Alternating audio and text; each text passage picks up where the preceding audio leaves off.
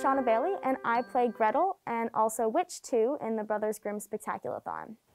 My name is Hilary Stewart, and I play the Witch and the Wolf.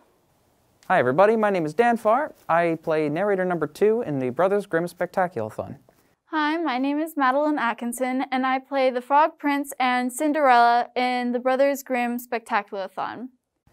So I'm William. I play the actor in the Brothers Grimm Spectaculathon, a fast-paced retelling of some of your favorite Brothers Grimm fairy tales, as well as some of their lesser-known works. So this year, as we know, we're doing a virtual show, and we are using a platform called StreamYard. So StreamYard is basically a platform just like any other um, video chat platform, but a lot of artists like to use it nowadays because of coronavirus. And you can move people around and enter people and exit people as you would just when you're trying to block a production.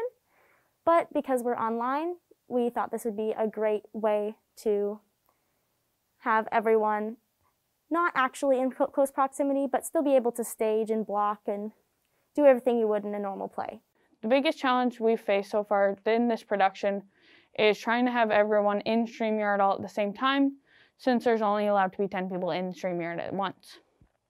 The most fun thing for me personally about this production has probably been the same thing that's fun about most productions is getting to know the cast and crew. Um, productions run a really long time, and at the end of it all, it's like one really big family.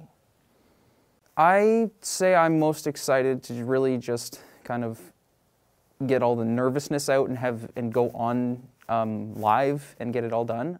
I think that most people are, are going to enjoy some of the jokes um, because they're really funny and there's tons of them in the show. The Brothers Grimm Spectaculathon is running Wednesday, March 10th and Friday, March 12th at 7 p.m. and Thursday, March 11th at 5 p.m. for children or early birds.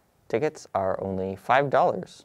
You can purchase tickets through our website at www.gbdssdrama.com. Uh, you can find more information at our Facebook page and I our Instagram page, and I believe our school website has a link or two on the main page.